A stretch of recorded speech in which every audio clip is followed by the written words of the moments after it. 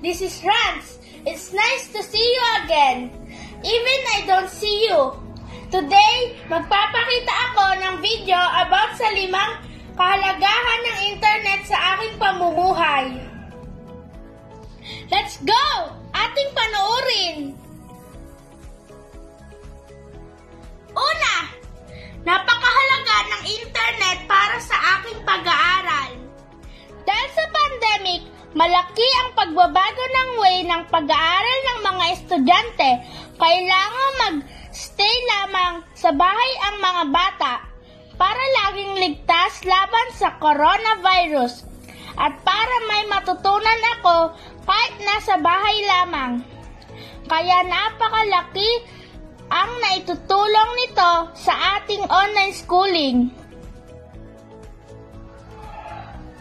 Pangalawa, ginagamit ko ang internet sa pag-research ng mga ideas about sa mga performance task lalo na kung drawing.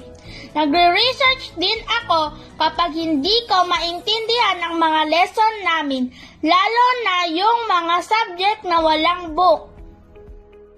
Pangatlo, mahalaga din ang internet for communication.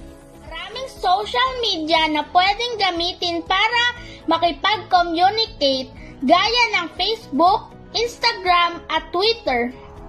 Ginagamit ko ito sa pakikipag-video call sa aking daddy na nasa abroad. Ganon din sa aking mga friends at para lagi ako updated sa kanila. Kahit nasa bahay lamang ako. Pang-apat, ginagamit ko ang internet to watch online videos. Nanonood ako ng mga video sa Facebook upang magkaroon ako ng kaalaman o balita sa mga nangyayari sa ating kapaligiran, lalo na sa ating bansa.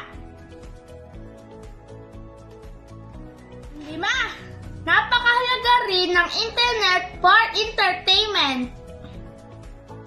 Naboboard ako, lalo na kapag weekends, Ginagamit ko ang internet para makapag-TikTok ako, YouTube at online games. Laging tandaan, dapat magkaroon tayo ng disiplina sa paggamit ng internet. Always think before we click. Baka mamaya virus na pala ang ating nakiklik or not suitable for kids na ang ating nakiklik. Dito magtatapos ang aking video.